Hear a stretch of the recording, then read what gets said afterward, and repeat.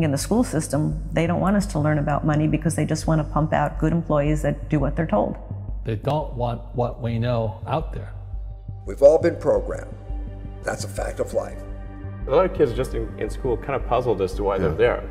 Well, oftentimes business education today, and I see it all the time, kids come out of college, the best colleges, Wharton and Harvard and Stanford and some of the great business schools, and they'll come out and they won't have practical experience. There's too many case studies that aren't practical.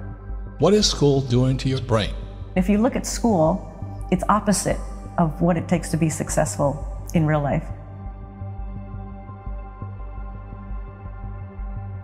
We have a system where we take children away from their parents at least five days a week, all day, and we have control of their minds until they're about 17, 18.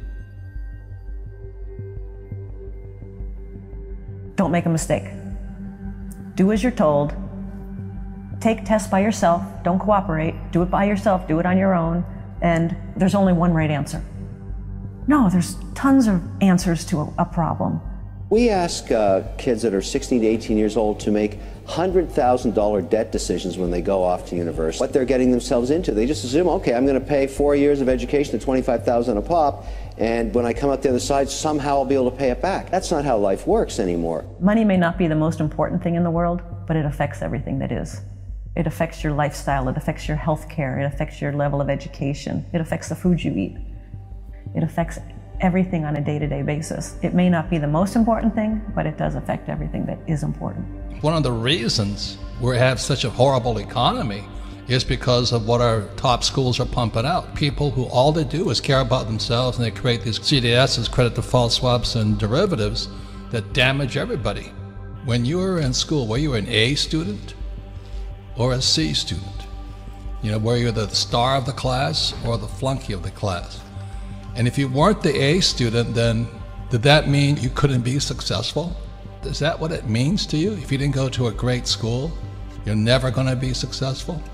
What if you drop out? You know, what if you drop out like Steve Jobs and uh, Bill Gates? That means you've had it. Jack Ma, who is the founder of a little company called Alibaba, he just recently said, if you're 35 and you're not rich and successful, you'll never be successful. Of course, Jack Ma is a school teacher former school teacher who struck it rich. But naturally, they have this idea that if you're not successful in school, you'll never be successful in life. And my contention has always been it almost damages you in school. You know, school damaged my brain, and my father was the head of education for the state of Hawaii, PhD. And I hated school. I mean, I sat there and getting pounded all the time for being stupid. People come out of school paralyzed. I think the school system is criminal in that it kills a child's spirit of learning.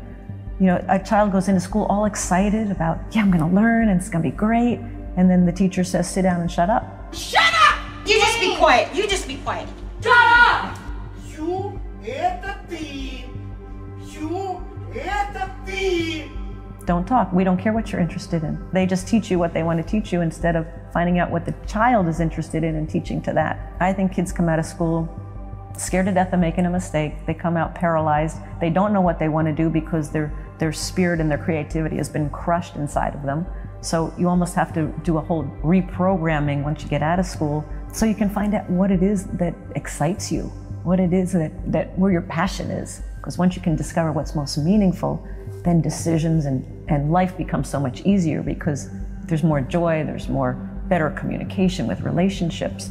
But they don't teach any of this in school. They just say, sit down, do as you're told, Take the test by yourself and don't make a mistake. If you're not successful yet, you might be a late bloomer. This is especially for those with students still in school, or you're struggling financially and you're over 35, or you're an old guy and you still haven't made it.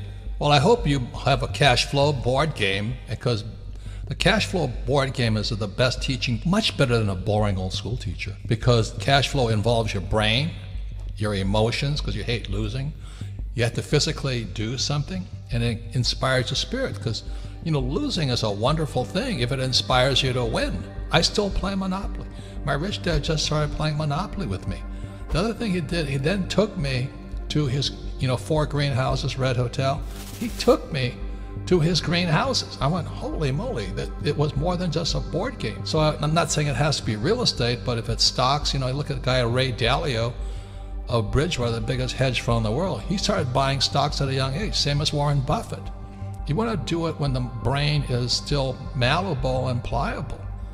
So take the child, you know, go look at real estate, Donald Trump had to go collect rent. He had his boys collect rent. He said, You want adventures and psychosis? Go collect rent. You'll hear more BS than you ever had before. I remember when I had to go knock on a door to collect rent. It's terrifying. Get this adult in they're lying to you, telling you these sob stories. I tell you, that's real education. So, this stuff you learn in school, in my opinion, waste of time. The entire purpose of a good university is to give you a foundation to fail. Because we have two hemispheres of the brain the left brain, which is about words and this world reality and you know the perception of this reality we have the right brain which is where you get creativity inspiration and uh, connection and then you've got this corpus callosum which connects the two. First of all we use a fraction of our brains. Why is that? Um, and the other thing is that what the system does is it turns out left brain prisoners. They run the system. And it does it by putting information through schools and colleges and universities into the left brain, which it then says at uh, time of an exam, give me all that back.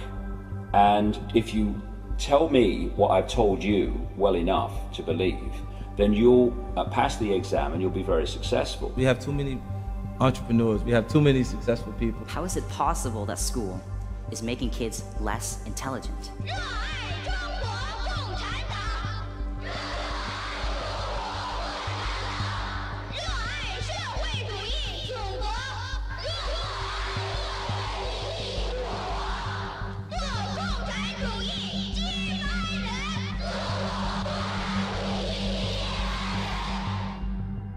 Go to high school, get a diploma. Go to a good college, find a stable job. And if you don't do that, you won't be successful. And if that was true, how am I even standing here today? How did I, a straight C student, start a technology company at the age of 16?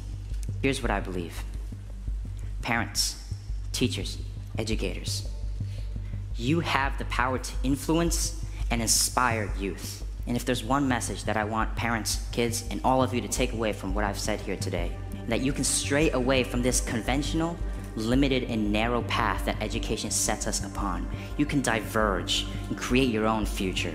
No one has ever changed the world by doing what the world has told them to do. I hated, I hated school. I really hated school. I really, well, I hated school, generally, right? Because it was this instruction following thing. Ego barrier is the worst thing. And if we were raised differently, just imagine in the schools that, all along that people will always say, everybody makes mistakes, everybody has weaknesses. The key is really to understand what your mistakes and weaknesses are so that you can learn from them. I think punishment is a terrible concept. Punishment means that you made a mistake and you're being punished. I think instead of punishment, every time somebody makes a mistake, you should say the only thing that you need to do to get out of your punishment is first think what kind of mistake was that? So if I'm in a situation that's like that again, how would I do deal with it differently not to make that mistake? So that learning should come from the mistake, not punishment. Every little flower of curiosity, said Einstein, is crushed by society itself. It's an extremely uh, corrupt system we have at this point. There's, we have an education bubble. In the US, we have a trillion dollars of student debt. A first approximation, this has gone to pay for a trillion dollars worth of lies about the value of the education people have received. And um, it's not at all obvious yet, though, what's going to replace this or how it's going to change. We are told that uh, it's the only way to salvation. You must get a diploma be saved. If you do not get a diploma, then you will go to hell. The message that I have is that uh, you have to work out your salvation on your own. You have to save yourself. I believe that is the truth, but it's a uh, somewhat uncomfortable one. Every time the schools do something with your kids that you don't agree with, keep them at home. Simple as that. And do it now. because the systems that produce teachers have become pathological completely. They're indoctrination camps and nothing else. The thing is, they know they've lost on the scientific front. They've lost.